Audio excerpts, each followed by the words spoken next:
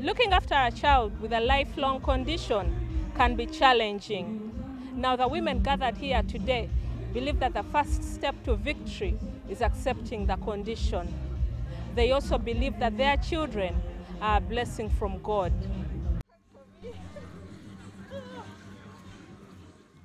We may look at these children as deformed, but I believe that every perfect gift comes from above. I look at my son as a perfect, perfect gift from God. Jude is Milan Nankunda's third child. Nankunda, a mother of four, learned of her son's condition when he was two months old. He had to undergo brain surgery. So it was actually after surgery that they discovered that he also, you know, got cerebral palsy. In my family, and even the way uh, at the time of my growth, I never saw such children.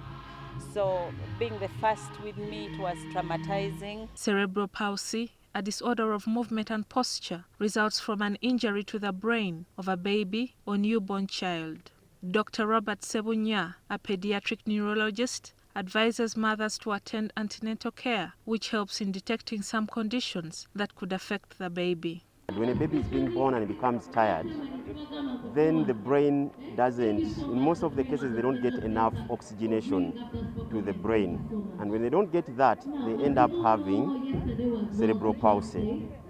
The other cause that occurs postnatally could have what we call jaundice or yellowing of eyes. In babies, signs of cerebral palsy include the inability to hold up the head, poor reflexes and posture, feeding difficulties, and delayed development. Even some will have malnutrition.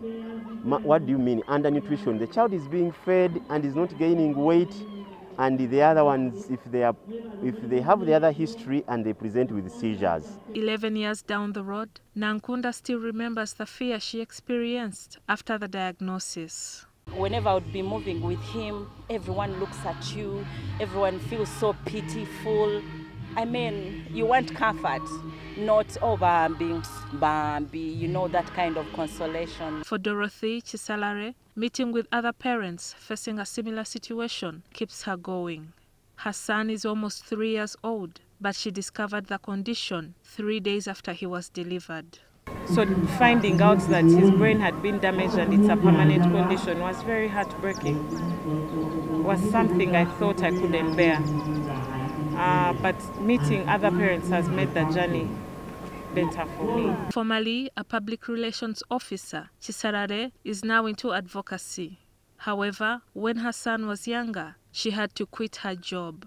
Getting into strong advocacy for my child, I needed to not hide him but tell the world about his condition. Nankunda, an IT engineer, also quit her career to become a stay at home mother. I think about it, and of course, age, age is, is catching up with me. Um, when you're thinking like, can I get employment? Then you remember the challenge you have, then the age you have. So I kind of gave, gave up. A 2016 study of cerebral palsy at Mulago Hospital and around the country found that 52% of affected children were malnourished. Because of societal perceptions and stigma, some resent or abandon their children. What the child looks like depicts or determines where the mother's mental health state is. These kids you see that are malnourished and in terrible condition. The mother is devastated, tired, angry, bitter, and they've simply given up on caring for the child. Uganda has only four pediatric neurologists, all based in Kampala. This poses challenges for caregivers when children fall ill. You go to, to, to, to a hospital, they have no idea about that illness. So even if you take a child who is suffering from either a bacterial infection or malaria, they, they always send you to someone who is, who is a neuro you know, physician. At the World Cerebral Palsy Day commemoration today, most of the caregivers were women.